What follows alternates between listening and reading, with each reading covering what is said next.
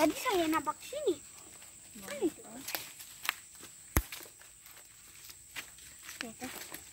Iya. Hmm? Kita cari di bawah.